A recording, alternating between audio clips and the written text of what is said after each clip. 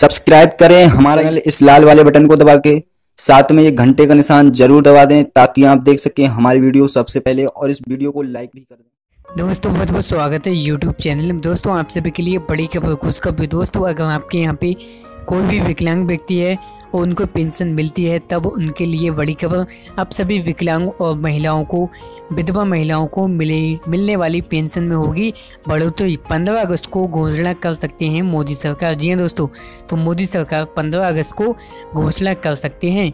तो आज की इस वीडियो में आपको बताएँगे कि आपको पेंशन कैसे ज़्यादा मिल सकती है और अगर आपको पेंशन नहीं मिलती है, तब आप पेंशन के लिए ऑनलाइन आवेदन कर सकते हो। तो आपको कैसे आवेदन करना है, आपको वीडियो के डिस्क्रिप्शन में एक लिंक मिल जाएगा, वहाँ से आप पेंशन के लिए ऑनलाइन आवेदन कर सकते हो।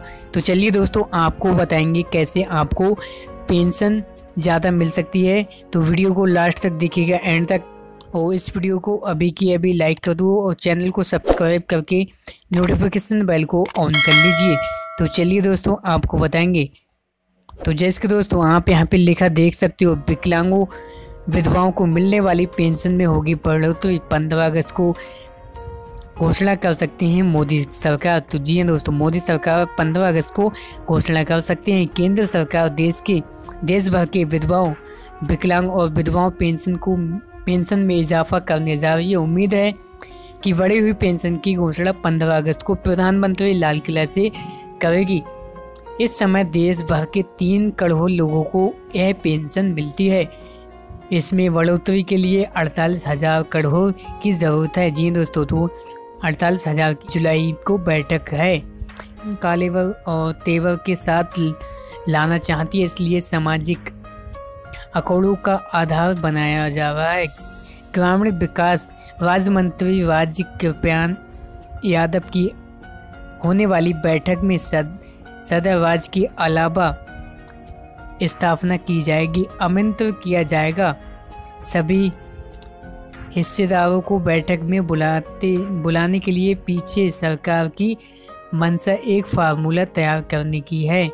वर्तमान में विधवाओं और विकलांगों को तीन सौ रुपये पेंशन दी जाती थी। इसको बढ़ाकर अब का प्रस्ताव देने के अलावा 80 साल से ऊपर बुज़ुर्गों को पाँच, पंद्रह सौ रुपये प्रति माह देने का प्रदान किया है। जी दोस्तों तो आपको अब पेंशन जो है वो आपको पंद्रह सौ रुपये दी जाएगी हर महीने।